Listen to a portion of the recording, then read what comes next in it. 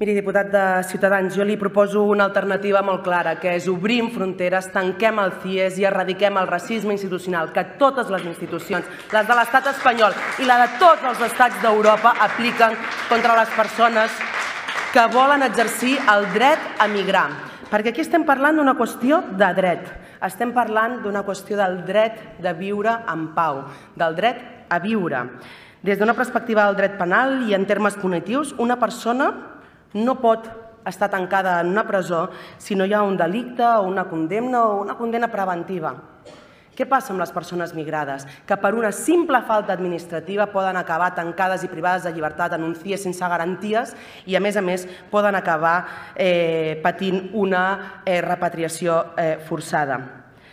Al nostre país no es compleix el dret d'igualtat. Les persones migrades no tenen accés als drets la, en la mateixa condició que les persones que sí que tenen permís de residència o nacionalitats d'un país del nord global o un país europeu. A Catalunya es viu una sincronia en l'espai i el temps, una sincronia en la vida. Coexistim però no convivim. Existeix una fractura social en les nostres vides i una no garantia de drets. I això les institucions catalanes també perpetuen. Parlem del CIES, però també parlem de com els cossos policials perpetren el racisme institucional, però també com hem vist en els darrers, eh, en, en els darrers anys, també com, per exemple, des de la DGAIA no s'apliquen polítiques de cura dels infants i preval l'origen dels infants, és a dir, on han nascut els infants, que no pas els seus drets com a infants. I ara mateix, per tant, aprofitem aquesta oportunitat per donar tot el suport a la tancada pels drets dels joves migrants en lluita a l'UDG, que reivindiquen precisament que s'erradiqui el racisme institucional de totes les institucions, des de l'Ajuntament de Girona fins a l'Estat espanyol.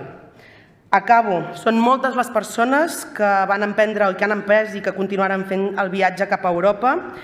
Eh, són moltes també els casos de les persones que han mort en un CIE.